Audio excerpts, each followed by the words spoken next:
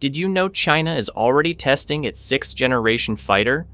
The name given by the media is Shenyang J 50, a fighter that appeared in the skies without any official announcement. Videos recorded by locals revealed the first clue to this mystery. In December 2024, strange images emerged from northern China. Two unidentified aircraft flew silently over a populated region. Analysts quickly named them J 36 and J 50. One was larger with three engines, the other smaller with two. J 50's unusual design immediately drew worldwide attention. Its tailless, diamond shaped delta wings looked unlike anything before. No vertical surfaces were visible, maximizing its stealth profile. This was the first real leap towards sixth generation combat. But the key question remains what is J 50's true mission? For China, sixth generation means more than simple air superiority. This aircraft is expected to command swarms of combat drones, a single fighter acting as a leader for an entire team. To understand this, we must look back in time. In 2019, Wang Haifeng, a chief designer, made remarks. He said that by 2035, a sixth generation fighter would arrive, an aircraft with artificial intelligence and human machine coordination in battle. J 50 is clearly moving along that very path. Its tailless frame means stealth from every possible angle. Adaptive wingtips take on the job of stability control, and two dimensional vectoring nozzles replace the missing vertical fins. When it comes to engines, speculation runs high. Some suggest derivatives of the WS 15 or new prototypes. Supercruise capability and massive onboard electrical power are expected. Features critical for future systems, such as airborne lasers. Inside, all weapons are hidden from view. Two large belly bays carry long range air to air missiles. Smaller side bays likely hold short range defensive weapons. It mirrors the same concept seen on the J 20. But there is one striking difference newer missile designs. Reports suggest a successor to the PL 15 is coming. Shorter in length, but with a far more advanced motor, allowing J 50 to carry more missiles internally at once. Its sensors also tell an important story. A faceted undernose housing resembles the F 35's EOTS system. This sensor allows passive detection without emitting radar signals, a priceless ability in the stealth focused battles of tomorrow. One of the most debated points was its cockpit. Early images led some to think it was unmanned, but later photos confirmed a single seat canopy exists, so the fighter supports both manned and unmanned options.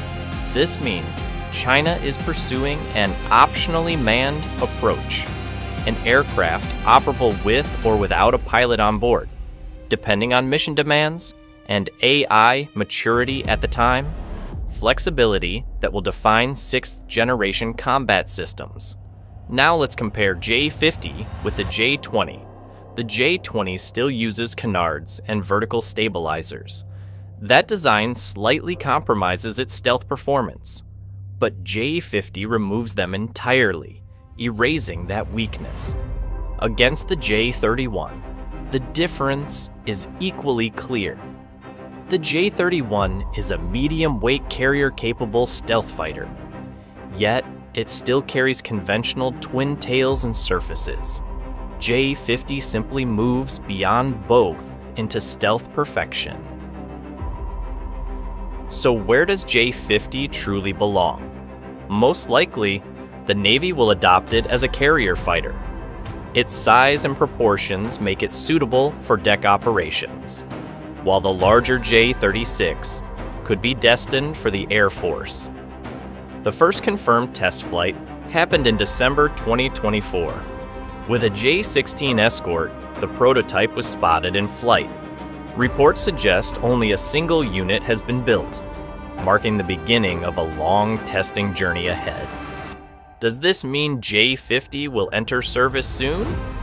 Not exactly. Analysts estimate the early 2030s or 2035. Key technologies like adaptive cycle engines are still unfinished today, but its early appearance proves China's rapid pace of progress. Remember, a sixth generation fighter is not just an aircraft, it is defined as a system of systems. The fighter must coordinate in real time with loyal wingman drones. J50 appears designed exactly for that command role. One curious feature stands out its adaptive wingtips. Images show they can move independently from each other. At low speeds, they stabilize the aircraft effectively. At high speeds, they reduce drag and improve efficiency. Globally, this flight carried a very important message. The United States still struggles with its NGAD program. Meanwhile, China openly revealed two sixth generation prototypes together. Observers noted the symbolism could not have been clearer. Europe and Japan are running similar projects too. But China now shows something real flying in the skies. Even if only a prototype, the signal was clear. The sixth generation race has entered a new chapter. For military watchers, J50 remains a massive puzzle. No one knows the final version's exact configuration yet.